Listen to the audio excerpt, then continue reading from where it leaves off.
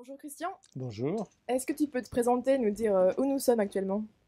Alors, euh, je suis Christian Sardet. Je suis à l'intérieur de la goélette Tara et nous venons d'accoster à Barcelone. Et nous sommes euh, en cours d'expédition Taramed. Tu as un objet entre tes mains? Oui. Est-ce que tu peux nous en parler? Alors, on appelle cet objet une piscette. Vous devinez pourquoi?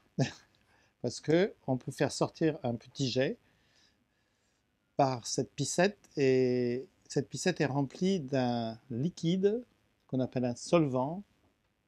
Un solvant, c'est un liquide qui peut dissoudre d'autres, des molécules de toutes sortes, et c'est ETOH.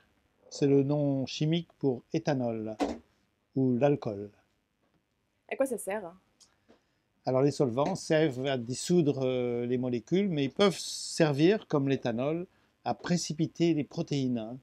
On l'utilise comme un- une façon de garder les protéines ou une façon de garder les acides nucléiques aussi dans un état exploitable pour les analyses ultérieures. Alors comment ça se passe à bord de, Tara lorsque vous faites des, des prélèvements? À quel moment tu utilises euh, l'éthanol? Alors, par exemple, si on collecte des échantillons biologiques vivants, on veut pouvoir les conserver un mois, deux mois, dix ans. Et donc, pour les conserver, on doit les mettre dans un fixateur. Et l'éthanol est un des bons fixateurs qui permet de faire des analyses ensuite d'ADN ou de protéines, par exemple. Combien de temps tu peux garder un échantillon qui est conservé dans, dans l'éthanol? Ah ben, ça dépend évidemment de la façon dont on stocke cet éthanol. Si on le met au congélateur, on peut garder pendant plusieurs années des échantillons.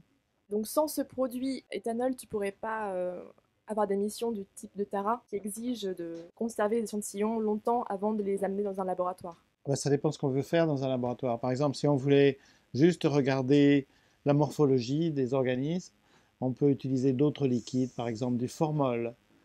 Mais si on veut faire des analyses de type euh, chimique, ADN ou protéines, l'éthanol est un bon solvant pour faire ça.